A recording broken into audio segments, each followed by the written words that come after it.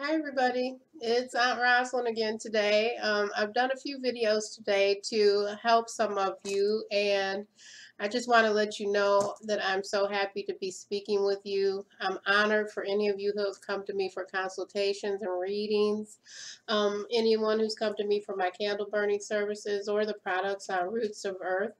Um, I want you to know that we really do work from our heart and we want to see you do so well in your life and have a better understanding of spirituality, magic, all of it, prosperity, love, and how you can have more and more of the life that you want. That's why we're here. That's why I'm here and uh, why I want to help you.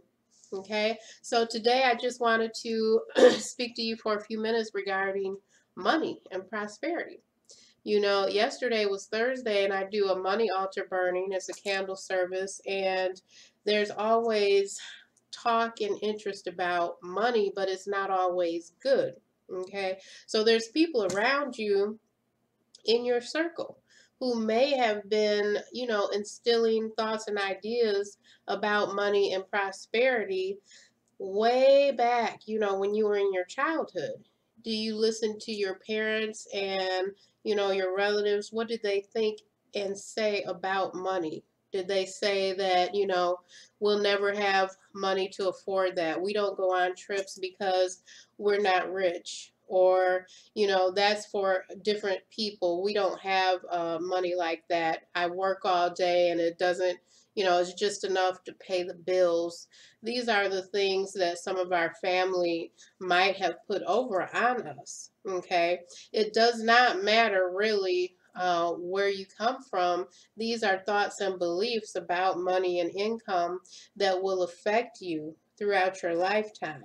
You know, and you can always tell if some of the negative energy is there with you and how you're feeling and relating to your own income and your career and your businesses and your finances and your prosperity and how much wealth you're accumulating in your life do you get to a certain point and it's like you never seem to get past this certain part of this invisible ceiling because of your coworkers they seem to get something that you don't get that advancement or that raise or is it because you live in um, a certain place and you think well one day I would like to move I would like to have more but it just never seems to happen. I never seem to be able to save money.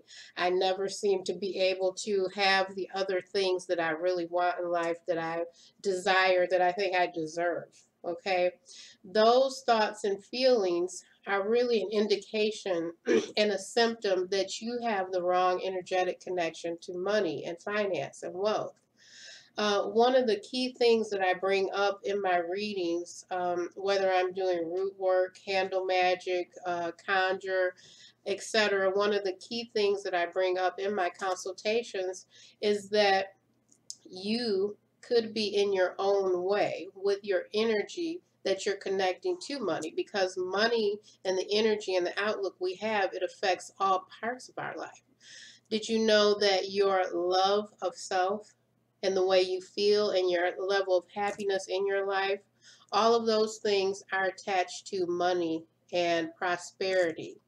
Okay, and also during my sessions, I teach different ways to start at the basics of how you feel and then carrying things out in your actions. There's different things that I do to bring in um, more and more prosperity, and a lot of it is to do with your energy and your thoughts and your feelings. Okay.